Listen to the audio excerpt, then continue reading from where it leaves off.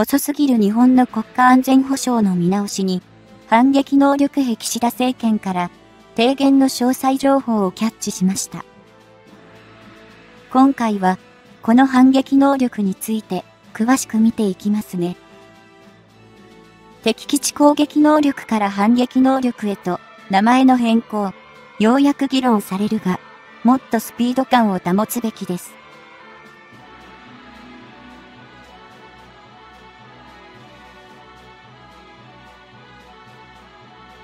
2022年4月、日本の与党、自民党は、従来まで、破敵基地攻撃能力と呼ばれていた対象戦力の保有と配備について、その故障を反撃能力と呼び改める提言を現岸政権に行い、一部に、議論の余地は、残しつつも、おおむね了承された。中には、日本の自衛隊に課せられた専守防衛という、基本のコンセプトが揺らぎつつあるという指摘もあったようだが、提言をまとめた安全保障調査会は、今回は、そこまで踏み込むことはせず、現行の枠内で対処する内容としている。敵基地攻撃能力とは、有事の際に日本に向けられる敵のミサイル基地等に対し、その拠点を直接排除する攻撃能力を指しており、主として長い射程距離を有する対地攻撃用の巡航ミサイルが、それを実現する兵装とみなされてきた。こうした敵基地攻撃能力を持つ兵器を日本が保有するべきか否かについては、太平洋戦争後の長い期間の間、その名称の通りに攻撃的な兵器であるとの理由から避けられてきた経緯を持つことは言うまでもない。ただし、太平洋戦争後の日本が政治の場において、個別に攻撃的兵器であると定義していたのは、1大陸間弾道弾、2戦略爆撃機、3攻撃型の航空母艦の3つが主であり、対地攻撃用の長距離巡航ミサイルは、そこには含まれ入ない。とはいえ、その定義が問われた1950年代や1960年代には、今のような長射程距離を誇る対地攻撃用の巡航ミサイルそのものが存在しておらず、仮にあれば、先の3つと同様に、保有を認めない攻撃的兵器に数えられた可能性も否定できない。また、敵地攻撃能力という表現自体が、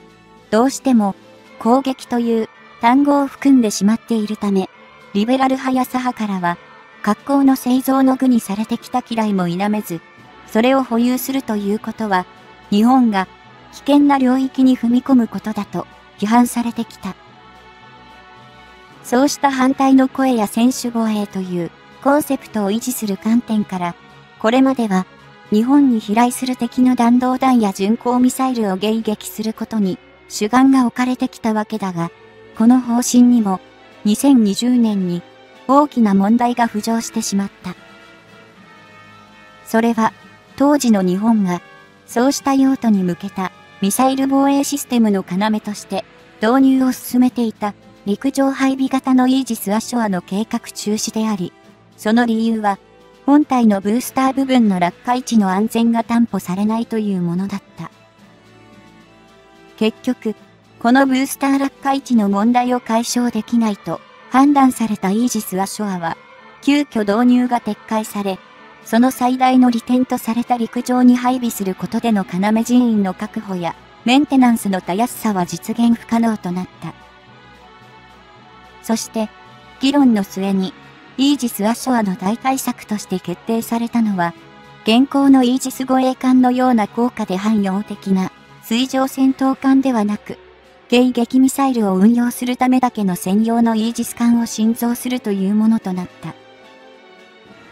この専用のイージス艦新造作は、貴重な現行のイージス護衛艦を、ミサイル防衛という限定的な任務からは外すことにはなるが、陸上設置の場合に比して、人員の確保や、艦艇自体のメンテナンスの手間が生じることは回避できない。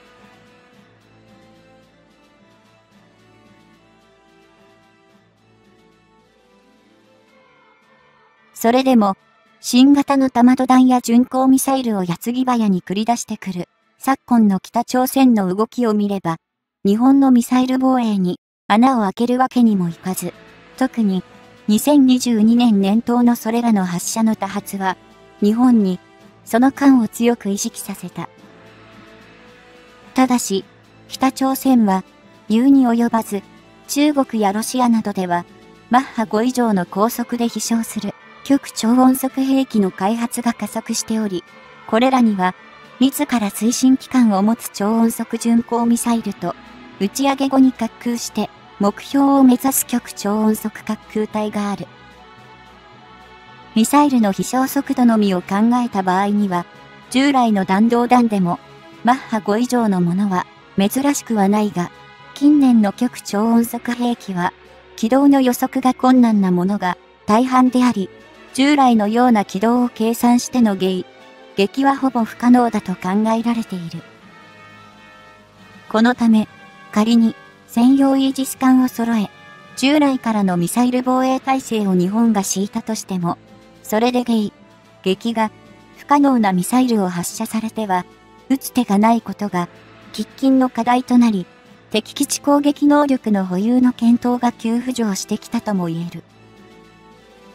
さらに、今、まさに、ロシアの軍事侵攻にさらされている、ウクライナの立場には、同情を禁じ得ないが、この現代の2022年2月に、こうした侵略戦争が正規してしまった事実は、日本の安全保障を考える上で、敵基地攻撃能力の検討には、追い風だったことも否定はできない。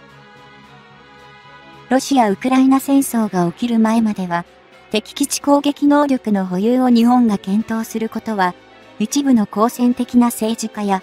団体の歪んだ願望であるかのように、多くのマスコミや反対派から、おびただしい批判の声が寄せられてきた。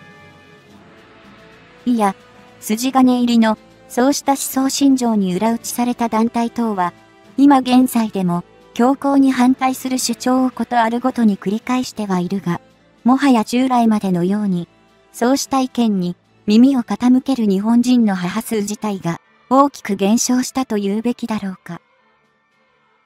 さらに、2022年8月4日には、中国軍が台湾への威嚇にて実施を強行した軍事演習において、中国軍が発射した短距離弾道弾が、日本の果てるまじ間近海の EEZ、排他的経済水域に落下するという事態も発生し、日本の今後の防衛体制への議論は、大きな高まりを見せている。すでに、日本の陸上自衛隊が装備する12式地対艦誘導弾は、現行の射程距離である約 200km 弱を大幅に延伸する開発が続けられており、最終的には、この改良型の射程距離は約 1500km に達すると予測されている。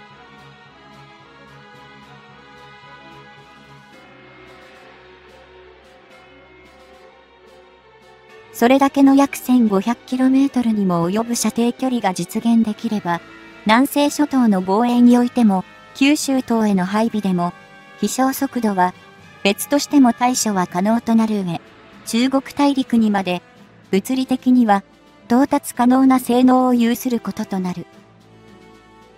しかし、多くの軍事関係者が述べているように、12式地対艦誘導弾の改良型の射程距離が飛躍的に延伸でき、様々なプラットフォームでの運用が可能となったとしても、基本的には対艦兵装であるため、対地攻撃力は限定的であろう。これを考慮した場合には、敵基地攻撃能、つまり、今で言うところの反撃能力には、新たな対地攻撃に適した威力を持つミサイルの開発もしくは、調達が不可欠であり、これまで、専守防衛の観点から、日本が有していなかった分野に取り組む要が生じる。こうした現在の状況を受けて久し、前述したような球体依然とした反戦思想を振りかざす団体等は、日本の反撃能力保有についてのネガティブキャンペーンを繰り返しているが、先の参議院議員選挙の結果を見ても、大した支持は得られていない。実施する主体や時期によって、様々なバイアスは考慮しておく、要はあろうが、2022年6月に、時事通信社が行った世論調査によれば、反撃能力の肯定派がおよそ6割を占め、反対派は2割に満たないという結果が報告されている。この世論調査では、反撃能力の肯定派の支持政党として最も多かったのは、日本維新の会、ついで自民党となっているが、前者の関係者の中には、ロシア・ウクライナ戦争について盲言を吐く人物もあり、額面通りの解釈で良いのかには疑問も残る。